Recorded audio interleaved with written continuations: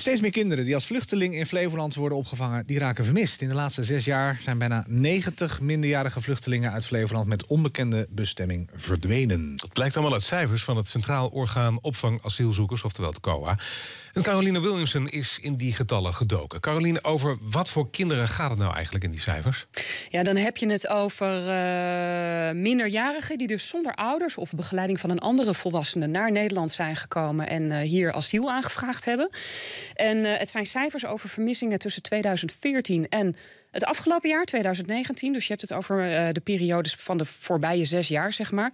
Ja, en dan moet je toch constateren dat we het over een groeiend probleem hebben. Want in 2014 verdwenen er vanuit de Flevolandse opvanglocaties slechts drie jongeren. Drie te veel zou ik zeggen, maar goed, het waren er drie. Afgelopen jaar is dat al toegenomen tot 37. We hebben verschillende asielzoekerscentra natuurlijk in onze provincie. Verdwijnen die dan vanuit die asielzoekerscentra? Of hoe, hoe raken die verdwenen? Ja, nou moet je je wel. Uh, ik weet niet of iedereen uh, daar bekend mee is. Maar in een doorsnee asielzoekerscentrum uh, worden geen alleenstaande minderjarige asielzoekers opgevangen. Dat gebeurt, gebeurt bijvoorbeeld wel in Dronten en in mindere mate ook in Luttelgeest. Dus het zal je ook niet verbazen dat als je het hebt over vermissingen van alleenstaande minderjarige vluchtelingen, dat vooral vanaf, vanaf die twee locaties jongeren verdwenen zijn. En dan vooral vanuit Dronten. Hm.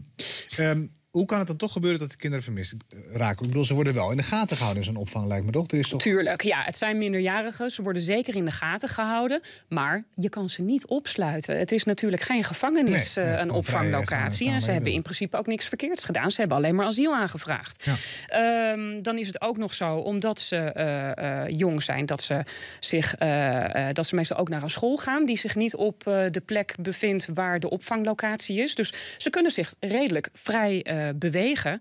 En uh, de meeste jonge vluchtelingen die verdwijnen ook min of meer uit uh, vrije wil. En dat is door het COA of door de voogdijinstelling NIDOS, die de voogdij heeft over alle alleenstaande minderjarige vluchtelingen in Nederland, ook ja, best lastig te voorkomen. Ja, ik probeer me dan een beetje in te beelden waarop ze dan eigenlijk uit een, een, een, een huis, een, een opvanghuis, mm. weg zouden willen en dan de vrije wereld ingaan met alle gevaren van dien. Waarom zou je dat doen als je ook nog volledig in een procedure zit? En dat nog gewoon iets van alles aangeboden kan worden. Ja, maar ook een kans om niet natuurlijk. Huh? Ja, dat ook. Nou, dat is inderdaad blijven. een belangrijke reden. Wat je moet weten is dat iets meer uh, dan de helft van de minderjarige vluchtelingen... die uh, de afgelopen zes jaar vanuit Flevoland uh, vermist is geraakt... oorspronkelijk komt uit een land waarvan wij in Nederland zeggen van... het is daar veilig. Dan heb je het over landen als Marokko, Algerije, Albanië. Um, die jongeren die zijn eigenlijk vanaf de dag dat ze in Ter Apel aangemeld worden... en vervolgens asiel aanvragen... vrijwel kansloos om een verblijfsvergunning te krijgen. Maar zolang ze nog geen 18 zijn, moet er natuurlijk wel uh, voor ze gezorgd worden. Er is uh, een, een, dak boven het hoofd en er is een bed en er is eten en ze kunnen naar school. Maar omdat ze zelf ook wel weten dat er uitzetting volgt op het moment dat ze 18 worden en dus volwassen zijn, ja, wordt dan toch vaak de afweging gemaakt om dan maar vlak voor die 18e verjaardag de illegaliteit in te verdwijnen. Maar er zijn ja. natuurlijk ook asielzoekers, jonge asielzoekers, die wel een goede kans maken op een verblijfsvergunning. Ook Ja. die raken vermist. Hoe zit dat dan?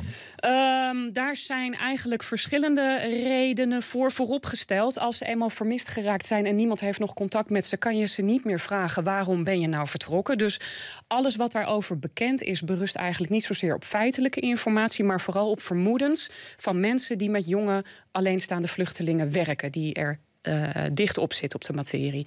Um, wat zij aangeven is dat sommige jongeren het bijvoorbeeld doen omdat ze dan dichter bij familie of vrienden kunnen zijn. Stel je bent een vluchteling uit Eritrea en je hebt een tante in Duitsland die daar een verblijfsvergunning heeft gekregen. Ja, dan kan ik me best voorstellen dat je op een gegeven moment de afweging maakt van ik ben liever in de buurt van mijn tante in Duitsland en probeer daar uh, asiel aan te vragen dan dat ik in Nederland blijf waar ik helemaal niets of niemand ken. Hm. Dus dat is een reden, dat komt uh, redelijk vaak voor. Um, wat ook wel gebeurt, is dat um, vluchtelingen onderweg zijn naar bijvoorbeeld Engeland.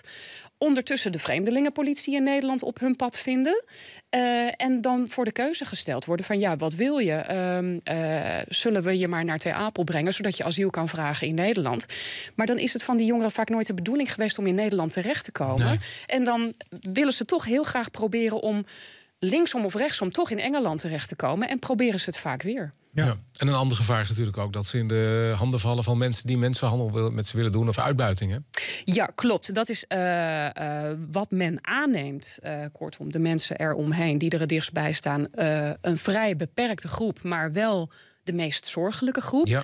Er zijn uh, uh, kwetsbare, sowieso zijn jongeren natuurlijk kwetsbaar, maar er is een groep die extra kwetsbaar is.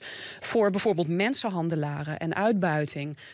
meisjes van wie het risico bestaat dat ze bijvoorbeeld achter de ramen verdwijnen in een grote stad. Ja, ja dat moet je natuurlijk kosten wat kost zien te voorkomen. Absoluut ook. Caroline Williamson, dankjewel.